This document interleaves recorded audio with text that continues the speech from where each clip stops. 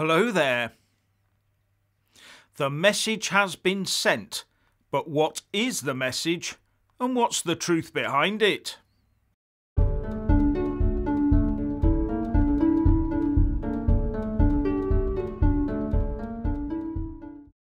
Now, this will surprise many, but it might not be so much of a surprise to the Kremlin as some think three Russian cosmonauts blasted off from Baikonur Cosmodrome in Kazakhstan yesterday for a six month tour in the International Space Station, and everything was seemingly going to plan until they arrived and left their Soyuz capsule to enter the ISS and meet up with two fellow Russians, four Americans, and one German already aboard the ISS.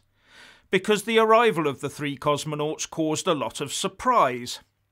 When the three cosmonauts entered the ISS, they were not wearing their traditional regulation blue uniforms.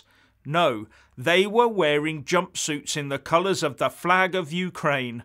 That's right, Oleg Artemyev, Denis Matveev, and Sergey Korsakov were wearing yellow jumpsuits with blue stripes.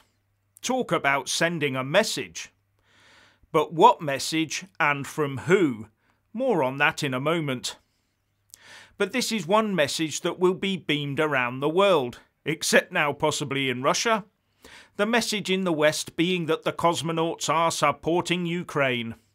The Times reported the colour scheme and its dramatic divergence from usual dress codes drew gasps from NASA officials and members of NASA's astronaut corps.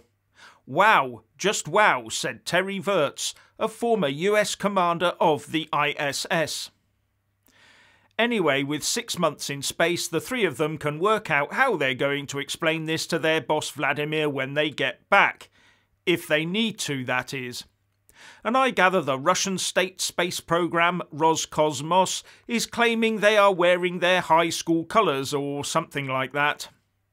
But when Artemyev was asked about this, he told his family that it was their turn to choose a colour and that there was lots of yellow cloth about so they decided to use that. Now, as I understand it, those suits are packed away ready into the spacecraft weeks before the flight. So I'll ask the question how would those suits have been received in Russia had Ukraine resistance collapsed in a couple of days to a victorious Russian army? Ukraine belongs to Russia, maybe? So, what do you reckon?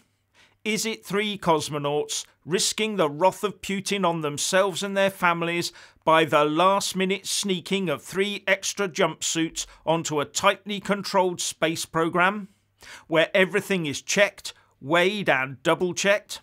Or a coincidental choice made by the cosmonauts with the jumpsuits being packed ready while Russian troops were actually gathering on the borders of Ukraine?